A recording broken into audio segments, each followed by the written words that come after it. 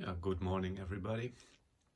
I have here four Kumewa uh, machine lamps and this is the type B, maximum of uh, 75 watts.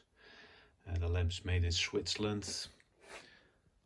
Um, yeah, it is my uh, favorite uh, machine lamp. I think they are the most uh, functional and uh, yeah uh, the best quality I've seen till now. Uh, yeah, what I like about the lamp is, uh, for example, there's a rotation axis here and you can um, rotate this knob by your hand to adjust the friction. So you can um, adjust it to your preference. And the same is with this rotation X. You can uh, rotate the screw uh, a little bit to make it uh, to adjust the friction and it stays in that position. So um, after time you can adjust the whole lamp. There's so there's two rotation points in this direction and this direction rotation axis. There's the the other one uh, which is adjustable as well. And then you have here two rotation. This one is adjustable by rotating this knob and these ones are, are adjustable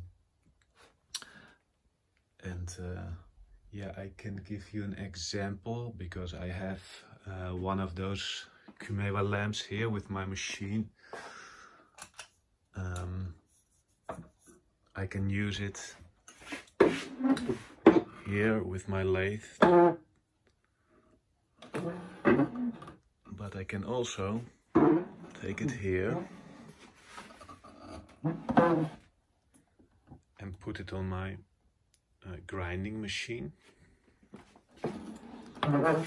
So this lamp have a huge range.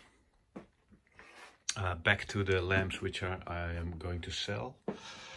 Uh, yeah, I have four of them. I start here with number one and I would like to give you an impression about the condition. So I'm showing you the little bit around from let's see if I can show all sides. So that was number one, and then we go to number two.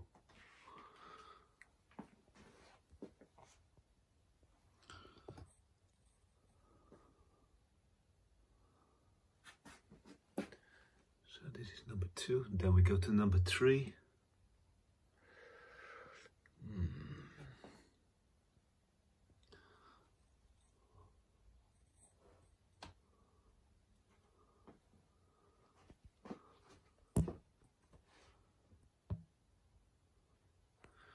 Yeah number three and four they are without the rubber. Here the rubber is still there. Uh, it's working but uh, yeah the rubber is protecting against uh, water I guess or other liquids. So this is uh, lamp number four just to show you and give you impression about what is the condition.